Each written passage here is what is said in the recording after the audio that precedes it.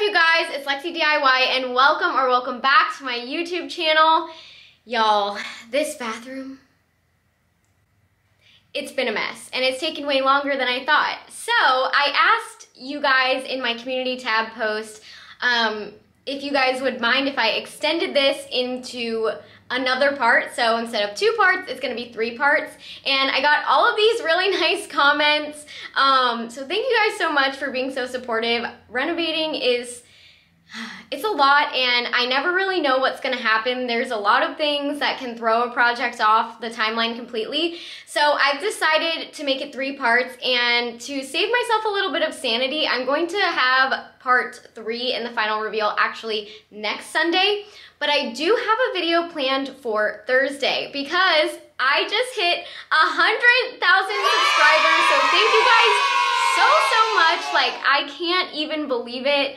Um, I'm just so grateful. And I have like a whole video on me actually, you know, sitting there as it happens and everything, but I'd also like to include a Q&A because I realize that I'm oftentimes um, behind the camera and you can see me working, but I'm doing a voiceover or, you know, and I know that a lot of people have questions. There's so many new faces here, so I would love it if you guys could drop questions for my 100K Q&A, and that'll be up on Thursday. So drop them in the comment section, and you could be featured, and your question could be featured in my video on Thursday. So thank you guys so much. Without further ado, let's just go ahead and get into the renovation.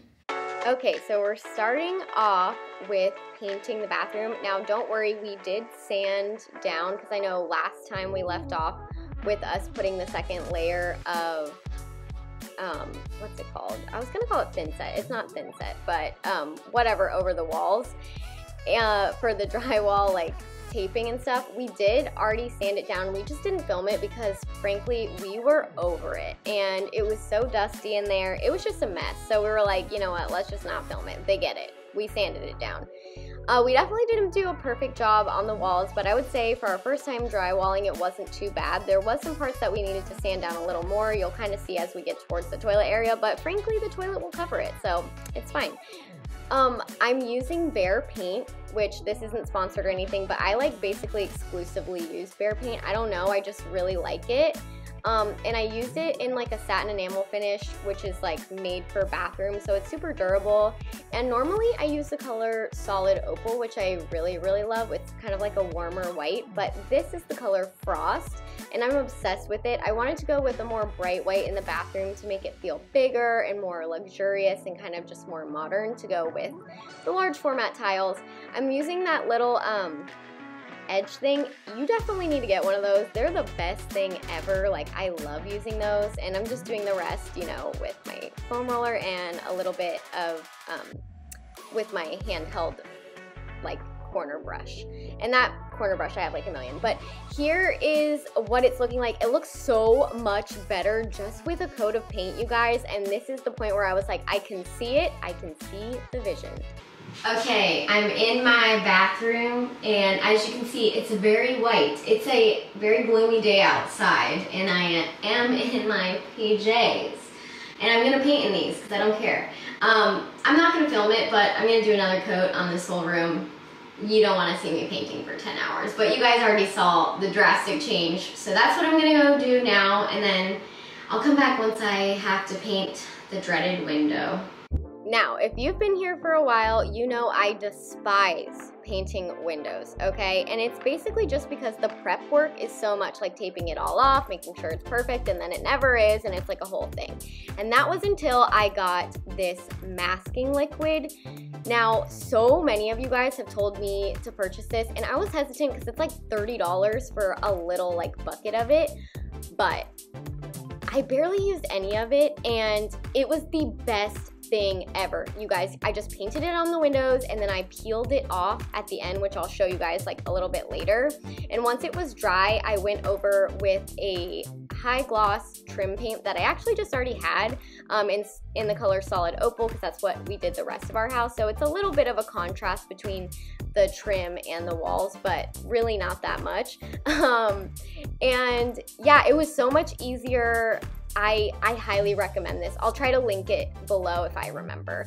And I also went ahead and gave my door trim just a coat of paint as well. And then it was time to do the second layer of RedGard in the shower, which is the waterproofing membrane that we used. Um, I did just give the walls a nice little uh, wipe down because it was very dusty after um, we had done all of the walls. So I guess I would recommend maybe either putting plastic over this while you do the walls or hopefully you don't have to re-drywall because you don't have a bunch of tile on your wall that you have to take off. But um, yeah, so just keep that in mind. I'm going in first with my brush and I'm getting over all of the screw heads again and in all of the seams. And I'm rolling uh, my second layer on in the opposite direction that I rolled the first one on, kind of to like interlock it and make sure that no moisture is going to be getting through this um, to like the backer cement board. But this stuff really does smell, so make sure that you um, open a window and don't paint it right before you do it, and definitely wear those protective gloves. Now, we are getting to the exciting part. This was a tile that we accidentally cracked, and luckily we had 13 tiles, which was the exact amount that we needed for the shower, and we didn't need this one to be like fully intact. We needed it for the curb, um, but we used it as a test cut at first, just in case we messed one up, it would be the one that was cracked. Um, and we ended up getting that little tile saw, which I'll explain more about that later. Um, but here I am just measuring out to find the center of the shower. Now, I did find the exact center of the shower, but let me tell you how much trouble we had with these tiles and I didn't end up getting the tiles exactly on center like they were just a smidge off because they're just so heavy. But anyway, I'm putting the mortar on the wall I had so much trouble with this at first, and I don't really know. It's not like difficult, but I just wasn't using the trowel properly, which is that thing that I'm putting it on the wall with. But I did make sure that I had some score patterns, um, and we did put some on the back of the tile as well, which you just couldn't see because it wasn't in the shot. And then we used those little suction cups, which made it a lot easier to navigate the tiles, but they were so heavy, you guys, and this took us so much longer than we initially thought. I did put the little spacers in. In hindsight, I actually wish I would have bought some different spacers, but it's totally fine. And then we pressed it up against the wall, and I ended up starting to use like this little spatula to get it on the wall first, and then use the trowel to put the little grooves in it. Um, because I just felt like that was easier. I don't know if it's just because I have little hands and it was difficult for me to work with, but it was what it was. Um, and then we put the second one on took those, um, just like any of the excess mortar off of the edges, and then I put the spacers in. So basically we put these two tiles up last night and they're looking really good. Um, they're really freaking heavy and it's a lot to get them on. So the rest of this is gonna be very interesting. Um, but now I'm just gonna take the measurements because they're definitely not perfect. We in the center. Um, and write them down and then whenever Dustin gets home, hopefully it'll stop raining so that we can make the cuts to our tiles. Um, and if it does keep raining, then we might only get to put two more up today, which is gonna suck, but it is what it is. So let's go. So like I just said, I started to measure out the cuts that we would need to make and I made sure that I measured at the top and the bottom.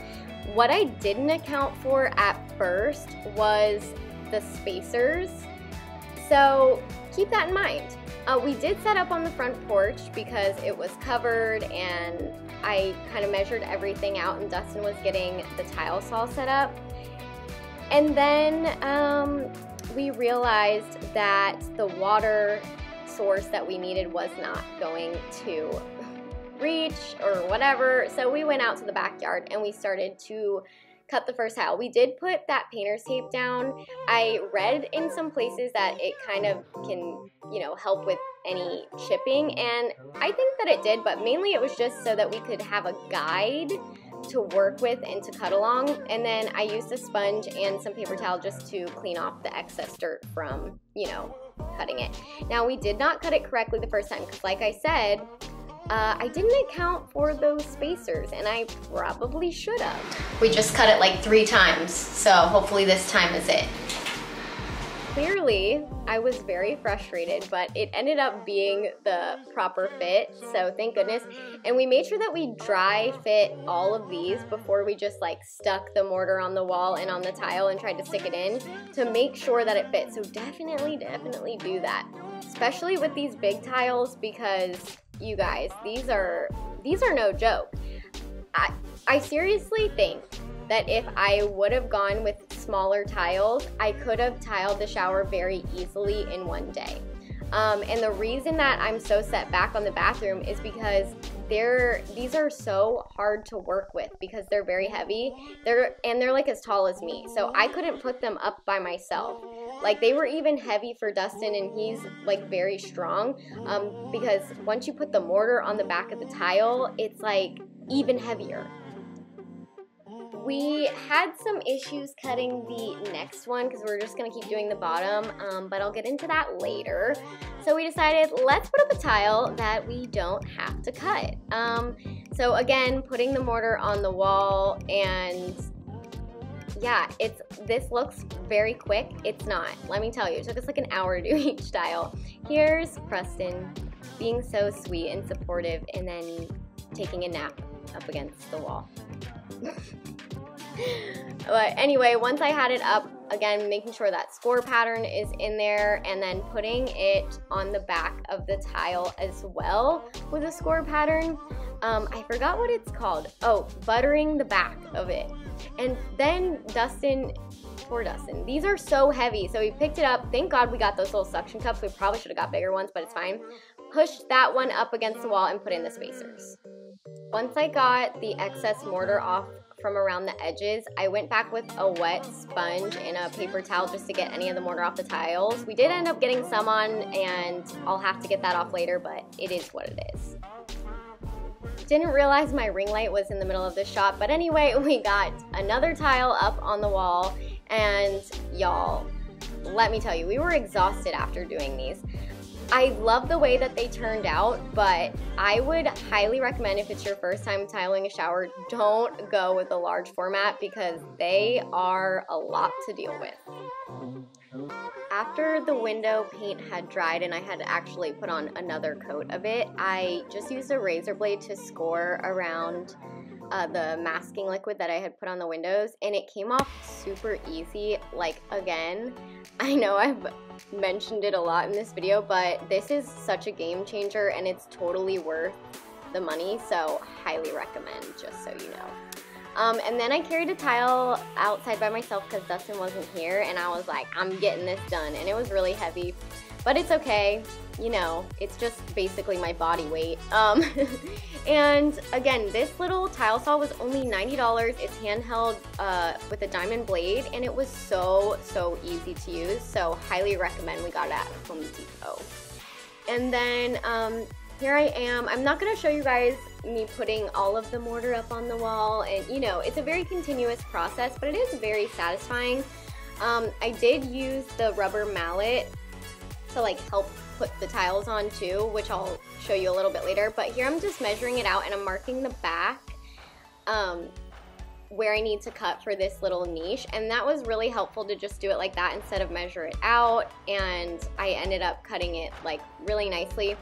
Again, this tile saw is so easy to use. It was really, really quick. Honestly, the most difficult part was just the fact that, that we like had to carry them so far to the bathroom. Uh, but you know, really not that bad. It did take us about three days though to get all of the tile up and the niche still isn't done and the floor still isn't done. So it is what it is. Again, just cutting the tile. I did have to kind of like take some breaks because uh, I was like hunched over it since we did it on a pallet on the ground. Normally, I think you would have this on a higher surface, but you know, it got the job done and it worked. Again, I am using mortar on the wall and the back of the tile because they're very heavy. They need a lot of mortar and a lot of like working in to make sure that they're steady and up there. And it was a very tedious process. Totally worth it though because the shower is already looking so much better. And here are just some satisfying shots. Like I said earlier, I was tr having trouble just getting it on the wall with the uh, trowel. So I used these little like knives to get it on the wall and then I went back with the trowel afterwards and put the ridges in. Here's the other cut piece. So now the back wall is finally done and we moved on to this. Now luckily we only had to like put a little bit so that the pipe would fit um, and we didn't have to like actually like cut into it. So that was really awesome.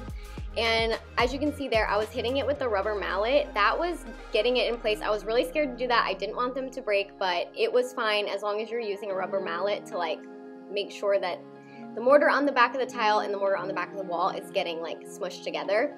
And then it was time to do the uh, little curve and I just cut that extra piece of tile, put it on, and then I did the other side. Again, I'm wiping up with a sponge in between just to make sure that I'm not getting mortar everywhere, even though I definitely did. Here's me pushing on the back side piece, and I was able to get this in two pieces, and it doesn't line up with the grout lines on the wall, but it doesn't really matter because this little piece is gonna be behind the toilet, so you're not even gonna notice it, and it's gonna look like one long piece on there, which is really nice. Um, Again, I'm just putting these on, putting the little spacers in, and then there are these little things I put on the edge that I cut to size with my miter shears, which I didn't record that. And basically it's so that you don't see the edge of the tile and it just gives it a more modern look. I could have mitered the edges, but frankly, that seemed like a daunting task that I didn't want to do. And these things were like $5. They're the uh, Schluter System brand. And I just pushed those into my mortar, put some more mortar on the back of the tile, and then popped it right into that. And it really did make it look so much more finished. We still obviously have to grout all of it, but this was really good. And I'm measuring it to make sure, or measuring it, I'm leveling it to make sure that part of it is actually higher um, so that if any water gets caught on it, it will go down into the pan. We're getting into the final stretch of finishing the tile. You guys, this took us like three days. I really thought since they were bigger that they wouldn't take nearly as much time to do, but I was definitely wrong about that. So just keep that in mind. I wouldn't recommend going with these if you've never tiled before because it was a learning curve, let me tell you. So then um, after that, bottom one was done, we cut the top one, which I just didn't show you, and put that one in place. And luckily, now we only have one more left to do. But this one was the hardest one to do because yeah, we, we couldn't get that hole exactly right and we didn't want to crack the tile. We redid this one like a million times before we actually stuck it on the wall. And finally, it was done. Then I decided to go ahead and put the back piece in for the niche and let that dry before I cut the edge pieces and did like the banding. So that's in right now. And um, that's where we're gonna stop for today, but here is the before and after of where we're at so far.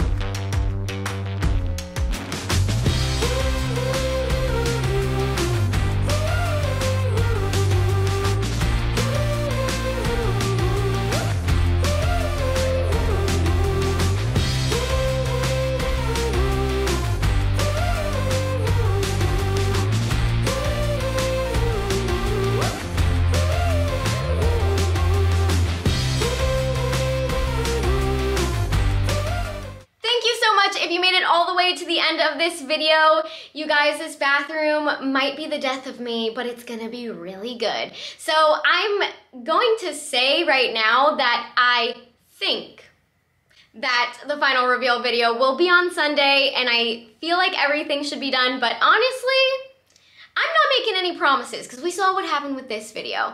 But um, I am going to be doing that extra video on Thursday, like I said, for 100,000 subscribers. So ask any questions that you have for me or Dustin, anything in the comment section below. Also, make sure that you're following me on all my other social media platforms. They'll be linked here on the screen and in the description box below. And if you're not already a Hot Mess homie here, make sure that you subscribe and ring that bell notification so you never miss when I upload next. Also, if you didn't know, my husband has a vlog channel and you guys should definitely go subscribe to him. Um, I'm gonna link that in the description box below. But that's it for me today, guys. I will see you next time. Bye!